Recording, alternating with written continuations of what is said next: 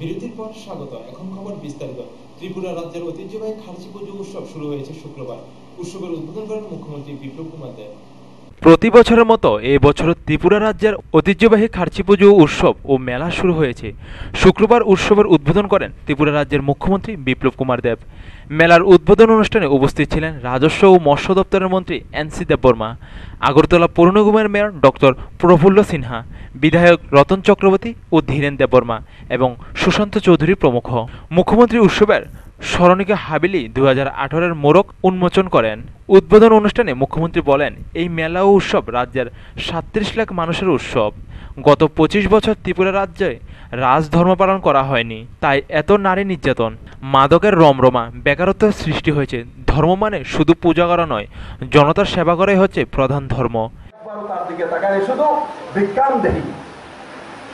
কেন্দ্র সরকার দিচ্ছে না, বঞ্চনা করতে লাঞ্ছনা করছে এই শব্দগুলো এই শব্দগুলো থেকে ত্রিপুরাকে মুক্ত করতে হবে।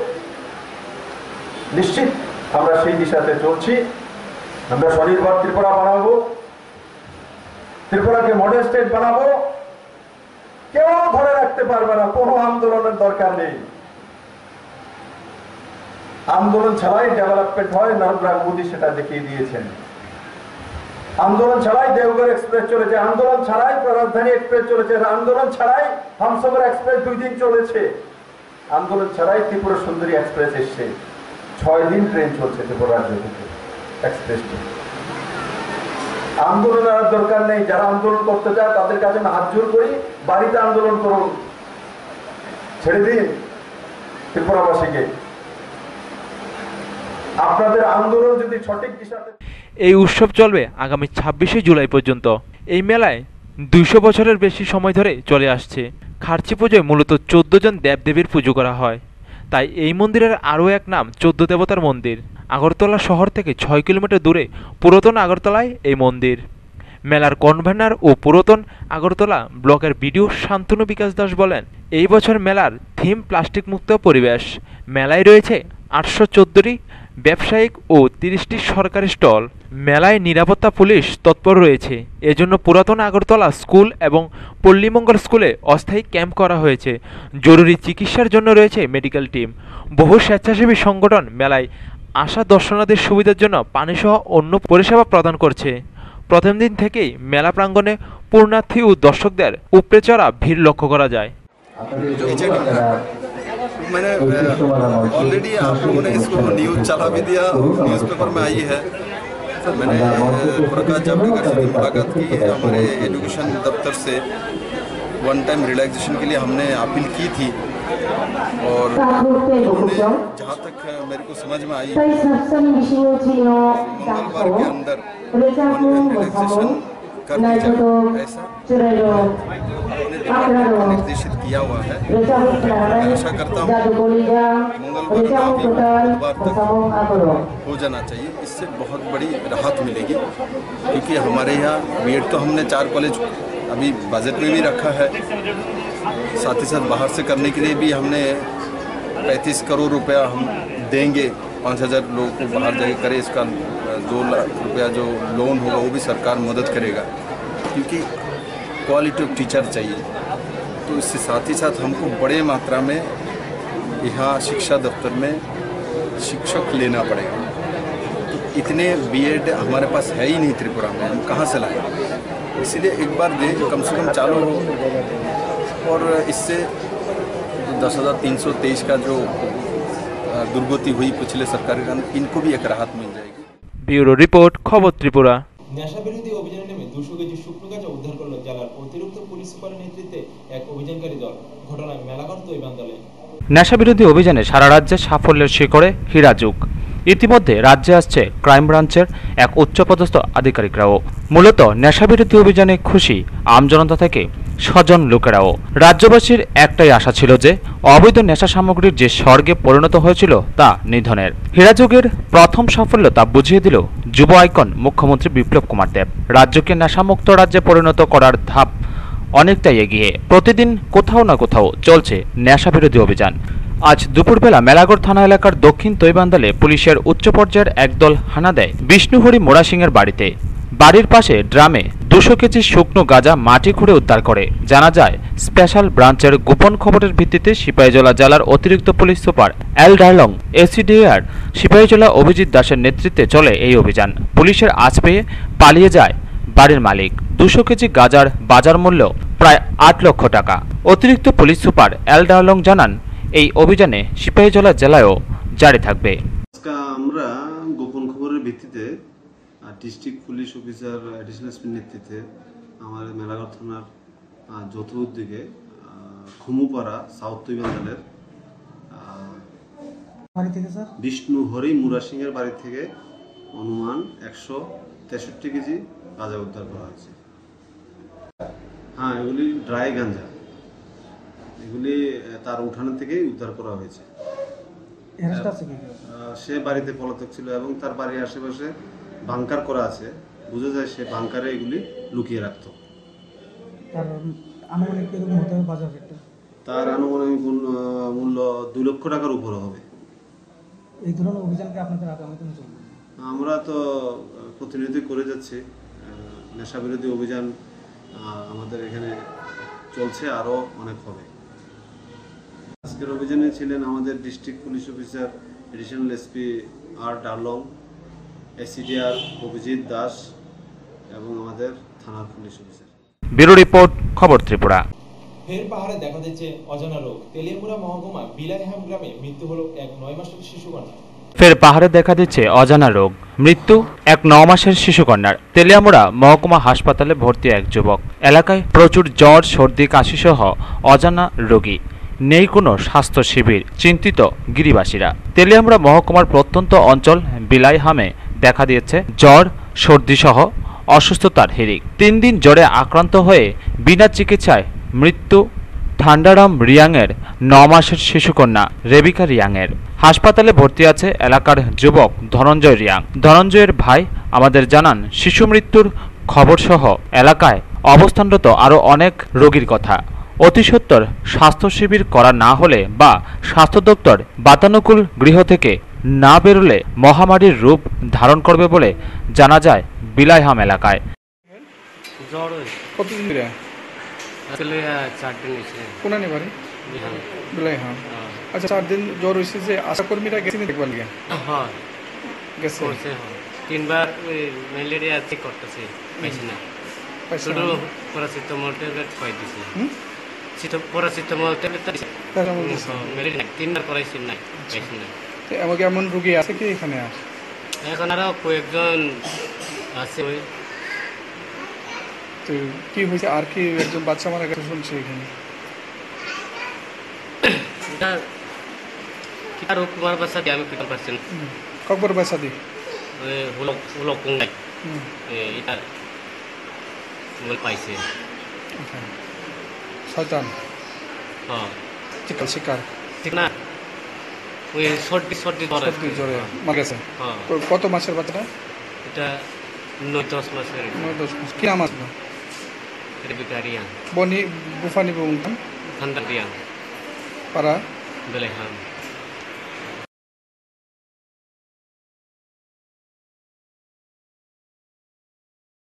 ব্যুরো রিপোর্ট খবর ত্রিপুরা। দুই সালের লোকসভা নির্বাচনকে সামনে রেখে রাজ্য প্রস্তুতির কাজ শুরু করে দিয়েছে প্রদেশ বিজেপি। দু সালের লোকসভা নির্বাচনকে সামনে রেখে সমগ্র দেশে বিজেপির সাংগঠনিক প্রস্তুতি শুরু হয়ে গেছে।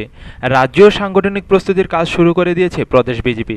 সেই মোতাবেক বৃহস্পতিবার এক নং পশ্চিম ত্রিপুরা লোকসভা আসনের সাংগঠনিক বৈঠক হয় আগরতলা টাউন হলে। বৈঠকে উপস্থিত ছিলেন বিজেপির রাজ্য সম্পাদিকা প্রতিমা ভৌমিক, প্রদেশ বিজেপির সহসভাপতি সুবল ভৌমিক, রামপদ জমাতিয়া, বিজেপির রাজ্য সম্পাদক রাজীব ভট্টাচার্য, মন্ত্রী রতনলাল নাথ, মন্ত্রী প্রসেনজিৎ রায় যুব মোর্চার রাজ্য সভাপতি টিঙ্কু রায় সহ আরও অনেকে। বৈঠকে পশ্চিম ত্রিপুরা লোকসভা আসনের অন্তর্গত প্রত্যেকটি মণ্ডলের সভাপতি সহ বিভিন্ন মোর্চার নেতৃত্বরা উপস্থিত ছিলেন। বৈঠকে মূলত লোকসভা নির্বাচনের রণকৌশল নিয়ে আলোচনা হয়। পশ্চিম ত্রিপুরা লোকসভা আসনের জন্য ইতিমধ্যে দলীয়ভাবে ইনচার্জ করা হয়েছে বিজেপির রাজ্য সম্পাদিকা প্রতিমা ভৌমিককে। এছাড়াও এই আসনের জন্য প্রভারী মন্ত্রী করা হয়েছে সুদীপ রায় বর্মনকে। সংবাদ প্রতিনিধিদের এক প্রশ্নের জবাবে প্রতিমা ভৌমিক জানান, সাংগঠনিক প্রস্তুতির অঙ্গ হিসেবে এই দিনের বৈঠক, তবে নির্বাচনে প্রার্থী কী হবে তা এখনও ঠিক হয়নি। অবগত আছি যে দু হাজার উনিশে লোকসভা নির্বাচন।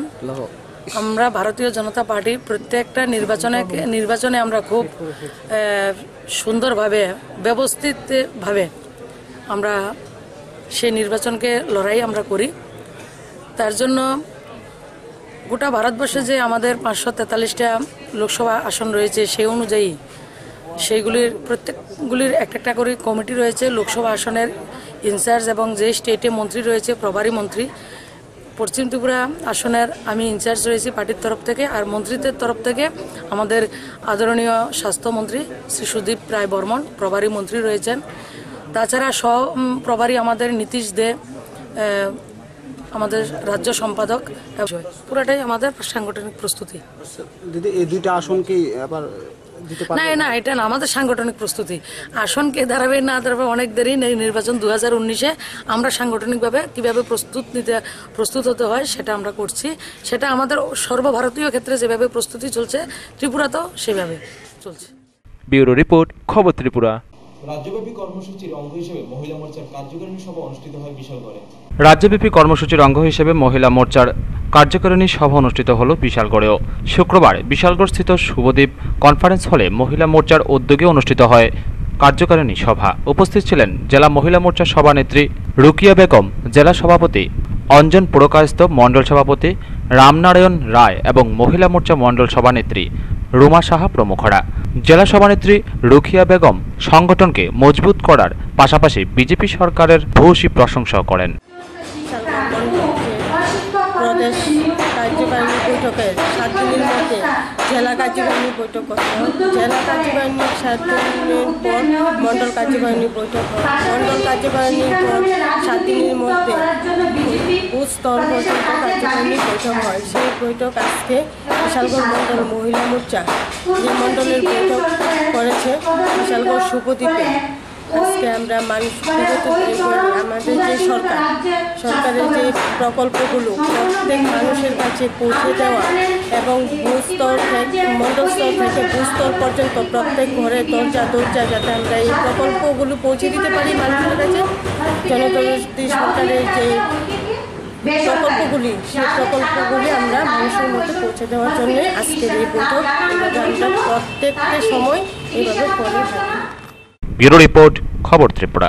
সাবরুমের পূর্ব ঢাকা তুলসী এডিসি ভিলেজের নিয়ান সিং পাড়াতে মমতা ত্রিপুরার বাড়িতে যান Tripura commission for protection child rights. শুক্রবার সাবরুমের পূর্ব টাক্কা তুলসী এডিসি ভিলেজের নেয়ান সিং পাড়াতে মমতা ত্রিপুরার বাড়িতে যান Tripura commission for protection of child রাইটসের চার সদস্যের এক প্রতিনিধি দল। প্রতিনিধি দলে ছিলেন নীলিমা ঘোষ চেয়ারপারসন এবং তিন সদস্য শর্মিলা চৌধুরী স্বপ্না দাস এবং ডালিয়া সাহা। সাথে ছিলেন চল্লিশ সাবরুম বিজেপি মণ্ডল সভাপতি অর্জুন দেবনাথ, শান্তিপ্রিয়া ভৌমিক সহ অন্যান্যরা। চেয়ারপারসন নীলিমা ঘোষ দোষীর ফাঁসি দেওয়ার পক্ষে সওয়াল করেন এবং পরিবারের প্রতি সমবেদনাও জ্ঞাপন করেন। উল্লেখ্য, গত এগারো জুলাই তারিখ থেকে মমতা ত্রিপুরা নিজ বাড়ি থেকে নিখোঁজ হওয়ার পর পনেরো তারিখে সকালে বাড়ির পাশের জঙ্গলে ঝর্নার কাছ থেকে মৃতদেহ উদ্ধার হয়। মনুবাজার থানার পুলিশ এখনও পর্যন্ত ধীরেন্দ্র কুমার ত্রিপুরাকে গ্রেপ্তার করে। বর্তমানে সে পুলিশ রিমান্ডে রয়েছে। এখন পর্যন্ত এই অপরাধের সাথে উনার জড়িত আছে বা এরকম কোনো প্রমাণ বা ক্লো পাওয়া গেছে না কিন্তু জিজ্ঞাসাবাদ চলছে। Random police remand second remand আনছি আবার। নাম কি? আবার চার দিনের তেইশ তারিখ যারা আনছেন হ্যাঁ নাম কি তো হ্যাঁ? ধীরেন কুমার ত্রিপুরা। ধীরেন কুমার ত্রিপুরা। বয়স? বয়স আঠারো। আর ফরেন্সিক রিপোর্টের জন্য যে কম্বল আর বস্তাটা পাঠানো হয়েছিল সেই রিপোর্ট কি এখনও এসেছে? এত তাড়াতাড়ি এত না তো পোস্টমর্টম রিপোর্ট পোস্টমর্টম পেয়েছি পোস্টমর্টম রিপোর্টে কি দেখা গেছে? ডিকম্পোজ দিয়ে আইছে ডিকম্পোজ পুরাই ডিকম্পোজ হয়ে গেছে। যতটুকু রিকভারি করে করছে তারা ডাক্তারবাবু তারা। র্যাপ অ্যান্ড মার্ডারের অ্যাঙ্গেলটা এখানে রেপের মার্ডার অ্যাঙ্গেলটা তো ডাক্তার কইতে পারব আমি তো জানি না রিপোর্ট এখনও ইয়ে হয়েছে না? পোস্টমর্টম দিছে। হ্যাঁ দিছে। এছাড়াও আজ রূপাইছড়ি বিএসসি চেয়ারম্যান ও আইপিএফটির যুবনেতা ধনঞ্জয় ত্রিপুরা ও মৃতার বাড়িতে যান এবং দোষীর ফাঁসির সাজার দাবি করেন। এছাড়াও পরিবারের হাতে দশ হাজার টাকা তুলে দেন ত্রিপুরা উপজাতি কর্মচারী সংগঠনের পক্ষ থেকে। এছাড়াও চাইল্ড রাইটস কমিশনের তরফ থেকে পরিবারের পাঁচ বছরের বিকলাঙ্গ শিশুটিকে হোমে পাঠানোর ব্যবস্থা করে দেবেন বলে জানান। এখানে যে ঘটনাটা করব, এটা সম্ভব না। তখন পুলিশ আমাদের এসপি বলেছিল হ্যাঁ তারা they'll try their level best to find out the accused person তো এটা করবার পরে তারা তদন্ত করছি। তারপরে এখানে যে তারা একটু গরিবই গরিব আমাদের গভর্নমেন্ট তাদেরকে যথেষ্টভাবে সাহায্য করব এবং করছে। আমাদের ম্যাডাম আছে, আমাদের একটা উমেন কমিশনার থেকে। উনিও কথা দিয়েছেন যে তাদেরকে যা নর্মাল যেটা বাচ্চা আছে, তাদের জন্য একটা ব্যবস্থা হবে। আর আমরাও আমরা যত আমরা লোকালিটি আছে, আমরা যথেষ্টভাবে তাদেরকে সাহায্য সাহায্য করার চেষ্টা করব। তো আমরা on behalf of our government বা অন বিহাফ অফ আমাদের পক্ষে থেকে আমরা চাই accused person should be arrest and he should be accused person should be hang up that that's what we want এটা আমরা চাই যে এক্সকিউজ পার্সনটা যাতে হ্যাং হয়। As per the law of Indian constitution যে ইন্ডিয়ান কনস্টিটিউশনের মধ্যে যেটা লেখা আছে সেভাবে যাতে তাদেরকে শাস্তি দেওয়া হয় ব্যুরো রিপোর্ট খবর ত্রিপুরা। প্রথম শ্রেণি থেকে পাশ ফেল প্রথা চালুর দাবিতে এসইউসিআই রাজধানীতে একটি র্যালি অনুষ্ঠিত করে। প্রথম শ্রেণি থেকে পাশ ফেল প্রথা চালুর দাবিতে এসইউসিআই সারা দেশে প্রতিবাদ দিবসের ডাক দেয়। তারই অঙ্গ হিসেবে আগরতলা হয় অনুরূপ কর্মসূচি। এদিন এসইউসিআই কার্যালয়ের সামনে থেকে একটি মিছিল সহল পরিক্রমা করে। পরে মিছিল শেষে বটতলায় হয় সভা। পাশ ফেল প্রথা না থাকায় ত্রিপুরা রাজ্যে যে শিক্ষার মান নেমে গেছে, এবছর মাধ্যমিক পরীক্ষার ফলাফল তা প্রমাণ করেছে বলে অভিযোগ তোলে এসইউসিআই। প্রথম শ্রেণি থেকেই পাশফেল প্রথা চালুর দাবিতে এসইউসিআই কমিউনিস্ট দল আজ সারা দেশে প্রতিবাদ দিবস হিসাবে ডাক দিয়েছে। তারই অঙ্গ হিসাবে আমরা এই আগরতলায় প্রথম শ্রেণি থেকে পাশফেল প্রথা চালুর দাবিতে এই মিছিল হচ্ছে। আপনি পরিচয়টা আমি রাজ্য সম্পাদক এসইউসিআই কমিউনিস্ট নামটা? অরুণ ভৌমিক। ব্যুরো রিপোর্ট খবর ত্রিপুরা। গাঁজা বিরোধী অভিযানে বেরিয়ে শব্দবাজি উদ্ধার করল পুলিশ। ঘটনা বিশালগড় মধুপুর এলাকায়। গাজার অভিযানে বেরিয়ে শব্দবাজি উদ্ধার করল পুলিশ। ঘটনা বৃহস্পতিবার রাত তিনটা নাগাদ মধুপুর থানার অন্তর্গত দেবীপুর ছাব্বিশ ঘাট এলাকায়। গোপন খবর ভিত্তিতে এলাকার জনৈক কেবল দাসের বাড়িতে হানা দেয় পুলিশ। গাজার বান্ডিল খুঁজতে গিয়ে পায় ছাব্বিশ কার্টুন শব্দবাজি। অভিযানের নেতৃত্বে ছিলেন বিশালগড় মহকুমা পুলিশ আধিকারিক মিহিরলাল দাস। ছিলেন মধুপুর থানার ওসি কৃত্তিজয় রিয়াং। বাজেয়াপ্ত করা শব্দবাজিগুলোর বাজার মূল্য আনুমানিক দশ লক্ষ টাকা বলে দাবি এসডিপিওর তিনি জানান, বাড়ির মালিক কেবল দাসের নামে মামলা দায়ের করে ঘটনার তদন্ত শুরু করেছে। গতকালকে আমাদের রাত্রে আমাদের কাছে যে সূত্রে খবর আছে যে মধুপুর থানার আন্ডারে ছাব্বিশ কার্ড এলাকায় কেবল দাসের বাড়িতে কিছু ক্র্যাকার্স তেইশ, চব্বিশ কার্টুন ক্র্যাকার্স অবৈধভাবে মজুত করা আছে। অ্যাকর্ডিংলি আমরা বাড়িতে রেড করে ক্র্যাকার্সগুলি থানায় নিয়ে আসি কত লক্ষ টাকার মাল হতে পারে? আনুমানিক ধরুন আট দশ লক্ষ টাকার আট দশ লক্ষ টাকার মাল বাজারজাত মূল্য ওগুলো অনুমানিক অনুমানিক যে বাজারজাত মূল্য দশ লক্ষ টাকার মূল্য রেজিস্টার্ড হয়েছে আন্ডার ইনভেস্টিগেশন আছে। ব্যুরো রিপোর্ট খবর ত্রিপুরা বাইশে জুলাই এজিএমসির কেএলএস অডিটোরিয়ামে এজিএমসি ও টিএমসি থেকে সদ্য এমবিবিএস এবং পিজি পাশ করা সম্বর্ধনা করবে। আগামী বাইশে জুলাই এজিএমসি এর এস অডিটোরিয়ামে এজিএমসি ও টিএমসি থেকে সদ্য এমবিবিএস এবং পিজি পাশ করা চিকিৎসকদের সংবর্ধনা যাপন করবে এটি এটিজিডিএ ও এনডিএটি এই অনুষ্ঠানে উপস্থিত থাকবেন স্বাস্থ্যমন্ত্রী সুদীপ রায় বর্মন, বিধায়ক ডক্টর দিলীপ কুমার দাস ও ডক্টর অতুল দেববর্মা। এই অনুষ্ঠানের মাধ্যমে নতুন কমিটি গঠন করা হবে। বৃহস্পতিবার প্রেস ক্লাবের সাংবাদিক সম্মেলন করে জানান এটিজিডিএর কনভেনার ডক্টর দামোদর চ্যাটার্জি। আপনারা আজকের এই সাংবাদিক সম্মেলনে এসছেন। আমি doctor Damodar Chatterjee convener ad hoc committee of all ত্রিপুরার গভর্নমেন্ট ডক্টরস অ্যাসোসিয়েশন আমার সঙ্গে আছে প্রিয়জ্যোতি চাকমা ও আমাদের মেম্বার এটিজেটি অ্যাডক কমিটি আর আমার ডান দিকে আছেন doctor Ranjit Das president NDAT nationalist doctors association of Tripura. আর আমাদের উত্তম দাস আছে আমাদের সেক্রেটারি ওদিকে আছে আমাদের ব্যুরো রিপোর্ট খবর ত্রিপুরা। শারীরিক অসুস্থতার কারণে অবশেষে মৃত্যু হলো সিপাহীজল অভয়ারণ্যের এক পুরুষ বাঘ দীপুর। এতে করে বাঘ শূন্য হয়ে গেল সিপাহীজল অভয়ারণ্য। শারীরিক অসুস্থতার কারণে অবশেষে মৃত্যু হল সিপাহীজলা অভয়ারণ্যের এক পুরুষ বাঘের। দীর্ঘ কুড়ি দিন যাবৎ শারীরিক অসুস্থতায় ভুগছিল সেই বাঘটি। তার নাম দীপু। দু হাজার তিন সালে চণ্ডীগড়ের জোতে তার জন্মগ্রহণ হয়েছিল। দু হাজার ছয় সালে তাকে উত্তর পূর্বাঞ্চলের সর্ববৃহৎ জো সিপাহীজলা অভয়ারণ্যে আনা হয়েছিল। গত মাসের ত্রিশ তারিখ থেকে তার শারীরিক অবস্থার অবনতি হয়েছিল। শুক্রবার সকাল দশটা ত্রিশ মিনিটে তার মৃত্যু হয়। দু হাজার ষোলো সালে দীপুর মহিলা সঙ্গী চিলি মারা যায়। তারপর থেকে সে একা হয়ে যায়। সিপাহীজলা অভয়ারণ্যের পশু চিকিৎসক গোপালবাবু অফ ক্যামেরায় জানান, গত দশ দিন যাবৎ দীপু জল ছাড়া কিছুই খায়নি। তিনি আরও জানান, বাঘের আয়ুষ্কাল থাকে সর্বোচ্চ পনেরো বছর। সেই কারণেই বোধহয় তার মৃত্যু হয়েছে।